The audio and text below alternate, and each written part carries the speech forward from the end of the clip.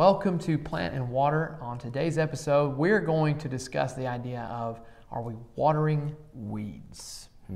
And to get to that point, I want to just mention, you know, plans change. Mm-hmm. You know, I mean, that's that's really where we are right now, in in, in the day to day. Big change, yeah. From day, we'll just take everything from day to day because plans change. Uh, you know, that's what we know right now, so we're going to make plans based on what we know right now, but that could change tomorrow. Uh, and because of that, you know, I, I was thinking this because I'm wearing my New Zealand shirt today. Uh, I'm supposed to be getting on a plane uh, this week. Um, May 18th, we were going to be going to New Zealand to see my grandfather just turned 87. And, but I got to talk to him yesterday, and he's in good spirits. Good. Plans change. Uh, my sister, I was talking to her uh, today. She lives in Cambodia, and they may not be able to come to the States this year. And it'll be two years. I've, I've not seen her, um, and my niece and my nephew. And it's hard when plans don't go to plan. And, but but uh, because of that, really, I think has helped our focus for today. Are we watering weeds? Because we knew we weren't going to New Zealand, I planted a garden. Right? I thought, well, hey, I always want to keep garden. We're planting water. That'll draw some great uh, inspiration for our discussion. Uh, so Mary, she wanted to have the, her flower garden, and so we put some seeds in for. She put seeds in for flowers. I water I water them every day. And I found out yesterday that this one section that's been doing really well, I just really haven't really cared to, to, to see because they're just a, an assorted, a bunch, a bunch of, of uh, wildflowers. And I thought, you know, I'm just watering what she's put out. I didn't know really what they were. And they've been growing up, and I see yesterday, I've been watering weeds.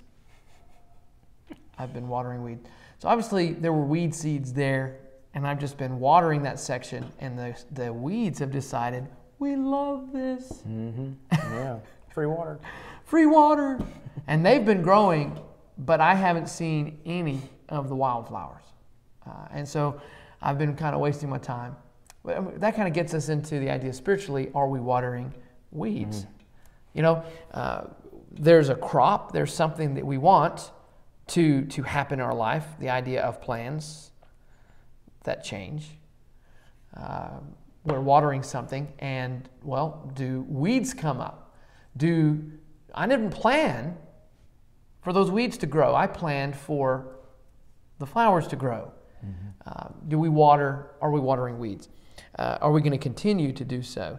Uh, you know, and this gets us to the idea of Matthew 13. And We're going to go from 24 through 30, but uh, JJ, would you like to read 24 through 26? In Matthew 13, 24 through 26 says, He put another parable before them, saying, The kingdom of heaven may be compared to a man who sowed good seed in his field. But while his men were sleeping, his enemy came and sowed weeds among the wheat and went away. So when the plants came up and bore grain, then the weeds appeared also. Okay, so that's key. Then the weeds p- appeared also. So they didn't notice the weeds until the good seed uh, put on grain. There's a there's there is something very important to that. Just we'll, we'll we'll put a pin in that and we'll discuss that in a second. But notice it said good seed. He planted good seed. You know that's why when we we purchase an assortment of specific plants, we expect that what we purchased is going to be that. And so, you know, you can know this is good seed. So I know that it didn't that what I've been watering hasn't come from that that pack. Where did it come from? Well, where did weeds come from to, to begin with? We understand that because of Adam and Eve's sin, uh, thorns and thistles were, were the curse for Adam's sin. So, because, as a result of sin came weeds. So, I know that they didn't come from the good, the good packet. It came from what's already there, and it's been there since sin came into this world. All right. So, there's always going to be a a comparison to weeds and sin. Hay fever, hey, why not? Let's just throw that in there. Yeah. You know, as, as far as, uh, you know, things that cause allergies, things that we don't like, you know, they're prevalent. I've also been told, though, that a weed is any plant in any place that you don't want it to be. I mean, that, that was pretty interesting. I saw a little little Jimmy jump up. It's like a miniature pansy growing in the middle of the crack of a pavement. They're a beautiful little flower, right? Uh, and, and that's why they're called Jimmy jump ups because they can jump up anywhere. Speaking of uh, weeds coming up anywhere, Okay. uh, we've got a member here. a matter of fact, one of our shepherds that uses a weed plant as a shrubbery uh, around their backyard. Really? And I, I was fascinated by this. You know, it's, they, they grow back in the middle of the woods and they grow pretty big. But he has shaped them up, and anytime it's grown in their flower bed, he's pulled it up, planted it in the back. Actually, when I was in my landscaping business, he's, he asked me to do some of this. Really? Of course, if I told you who it was, you go, "Oh yeah, it makes sense." Good old Rick Glass. I knew it. I knew it. I knew it. Uh, it's awesome. But you're, you uh, inspired this little lesson here. Uh, but he's re, reused those weeds and to make a, a privet hedge, or is it? I think so. you Yeah, know, yeah, it- it- they look like a, it could be a shrub, you know. Yeah, they can. They get the little leaves on them, and they're ugly if you let them go. But you shape them up and plant them, and they grow anywhere. you know, Yeah. even in concrete. Yeah. so why not repurpose a weed to, to grow? And, and that might be a good reason to use a weed, but not in your, your normal vegetation. Or Well, and like some, that, so. and and this is this is again definitely going down a nerd path, but there are some people who consider. I mean, w- what do you generally consider a weed? Dandelions, mm-hmm. you know, because they're invasive. Well, what's interesting also, dandelions they they're high in vitamin C. Mm-hmm. Uh, in fact, when I was a kid, Go munch some down. yeah, my mother gave us all an empty bowl and said, "Okay, kids, we're going in the yard. We're going to get our salad." I said, "We're going in the yard. We're going to get our salad." What are you talking about? Yeah. And we got dandelion leaves, dandelion flowers. Um, there was uh, parsley, purslane, all these different things in our garden that we don't that we took for granted.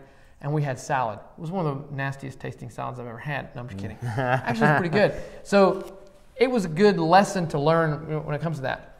But Yeah. you know, using you know, some of those weeds are good. You Yeah. know, we consider them weeds, but in our next point, we're about to make some of the weeds that are grown with, Are with poisonous. poisonous. So Yes. So, with that concept of, of anything is a weed if it's in a place you don't want it, even something that everyone considers a weed, mm-hmm. you know, if, if you take it and you put it in your garden and you allow it to grow, for instance, wild onions. Mm. I wanted onions, I didn't want to go to the store, and I have wild onions all over the garden. In fact, we have some wild garlic, and apparently that was planted by Native Americans years and years ago. So, that's, it is wild, but at one time it wasn't. You can put that in your garden and let it grow, and you can use the, that as chives. So, it, even something we consider a weed, if you place it in a specific place, like Rick Glass did, that's something that's a, that's a, that's a benefit.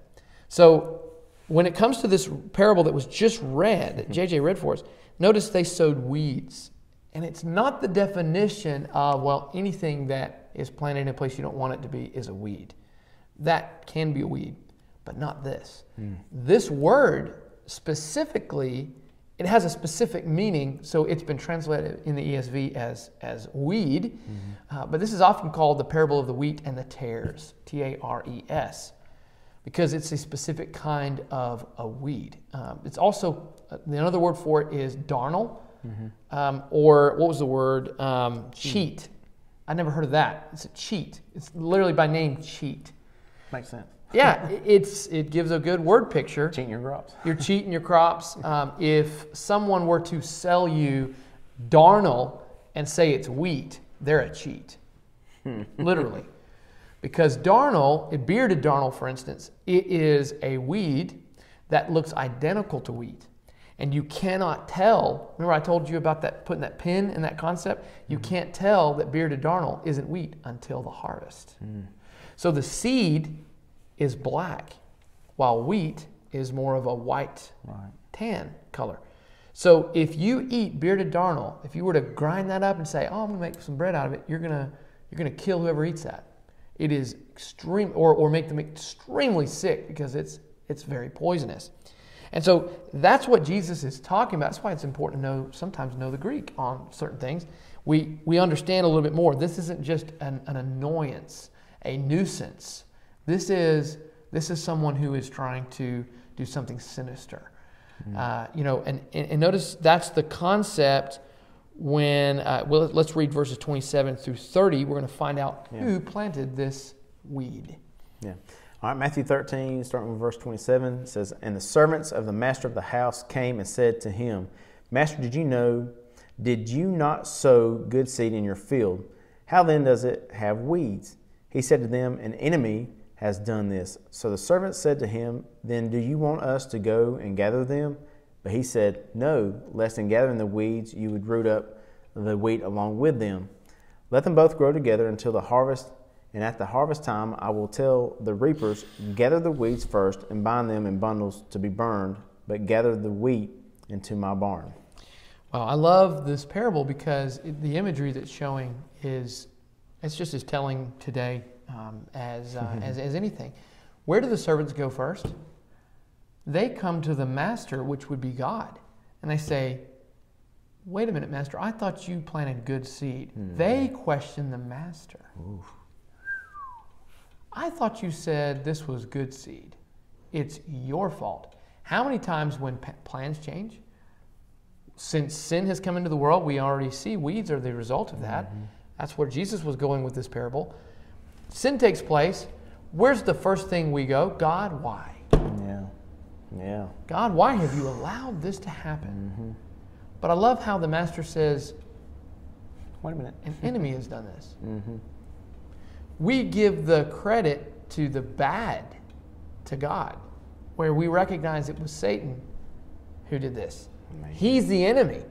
So when plans change, we got to recognize the enemy is at you know is is the culprit behind those things.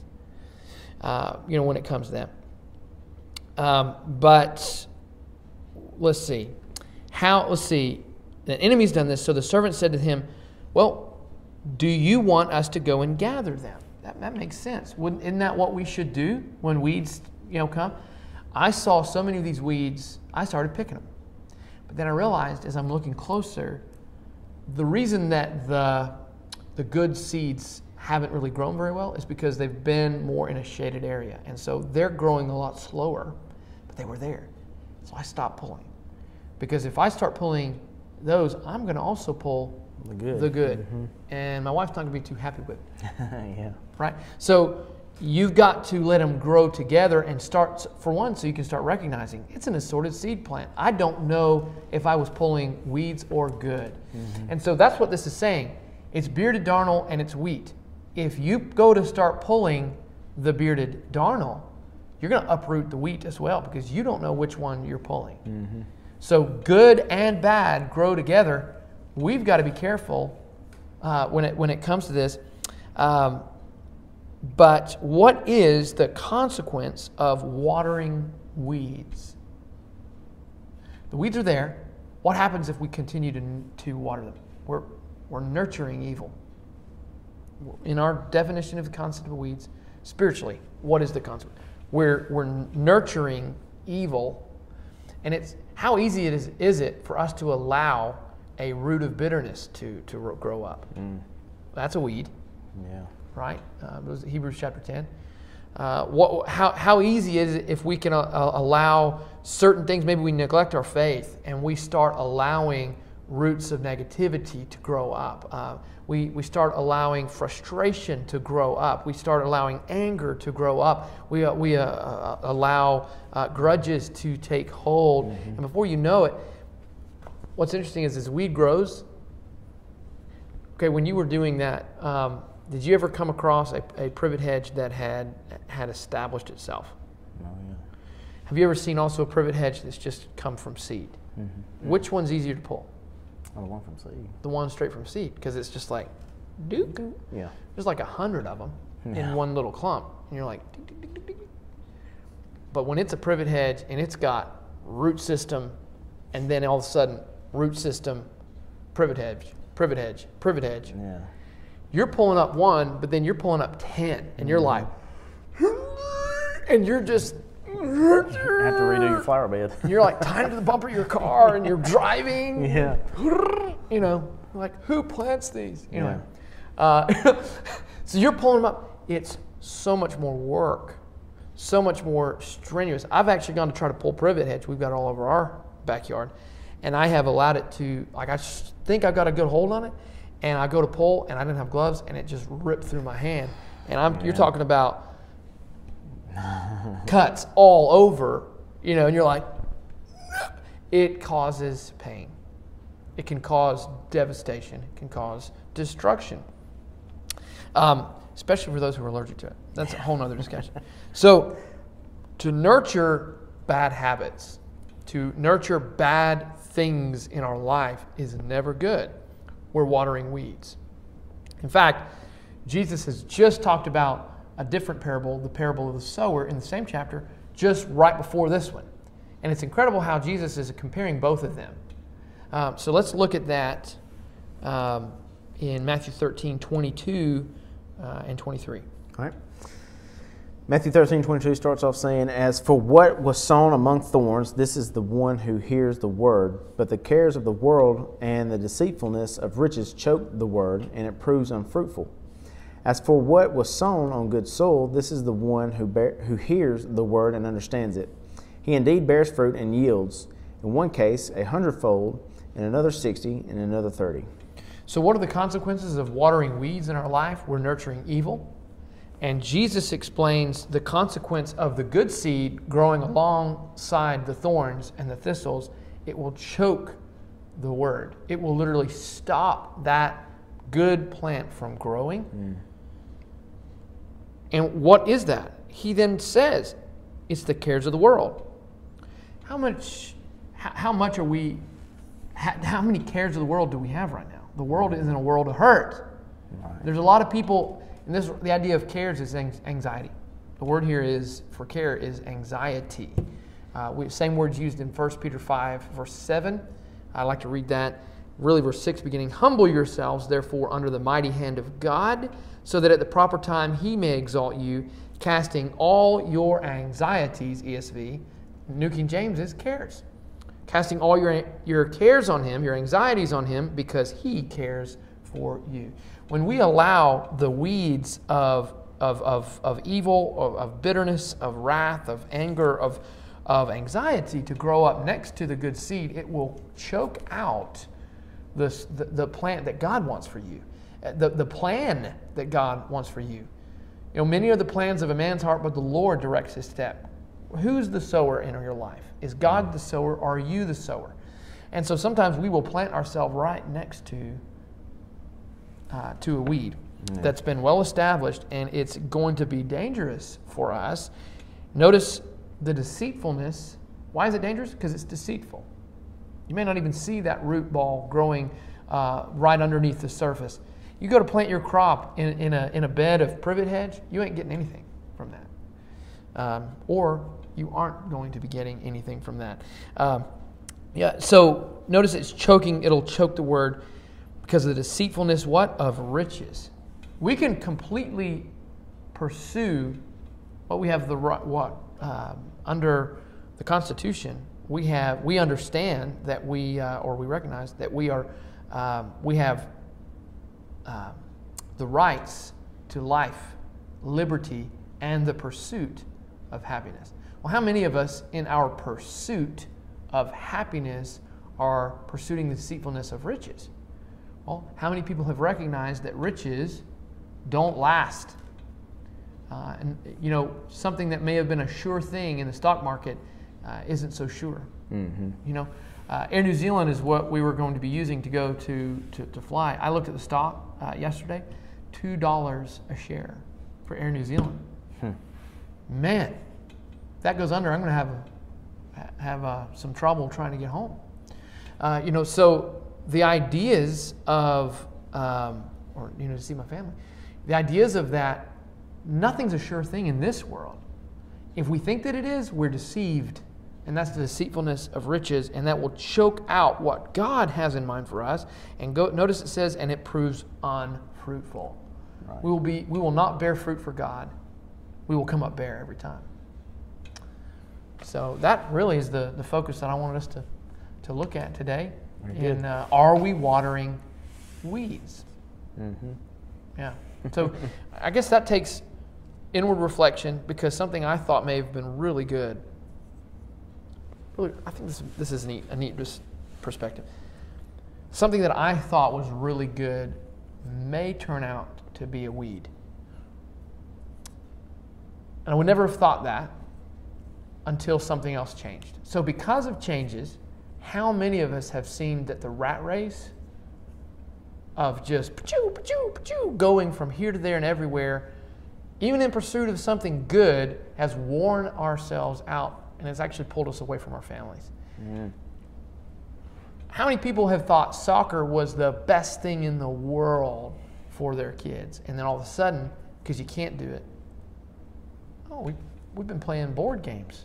Mm-hmm. I thought board games were only if you're bored. Because it, it's in the name. Come on. But you're actually laughing together. You know, we've, we've, been, we've had a Settlers of Catan game going on for a couple weeks now. It's just on, on the, mm-hmm. the, the dining room table. And it is a blast. Oh, yeah. We're having a blast. It's hilarious. You know, just sitting together as a family. You know? And so things that we may have thought were really incredible may turn out to be weeds. Things that we may have thought that weren't that important have become vital. Hmm. When things like this have taken place, when anxiety or cares, it's, it, it's either it's going to humble us. That's why he says, "Humble yourselves under the mighty hand of God." God has humbled this society, has humbled this world uh, as a result of this. We've got to, um, or, or, or we can look at that and see um, we can be humble or we can be humbled uh, at the end of the day. Um, can we look to God during this time? Um, but again, that's uh, th- we're just trying to find positive in that. There's plenty of negatives we can find in all this. Yeah, yeah. Just trying to hold to that. There's plenty of weeds that we can find during all of this, but there are good seeds as well. Let's try to make sure that we're not watering the weeds, but that we're watering the good seed. Thank you so much for joining us, and uh, it's been been a great great day. Um, do, do we want to mention if, if you've got any questions? Please feel free to reach out to us at richard at deerfootcoc.com. And we'd love for you to join us uh, with our online services at 10 o'clock. And you can find that on, on uh, deerfootcoc.com or, or on Deerfoot Church of Christ, our Facebook page. And we're streaming uh, live on Sundays. Uh, but uh, until we, we talk again, uh, God bless. Have a good day.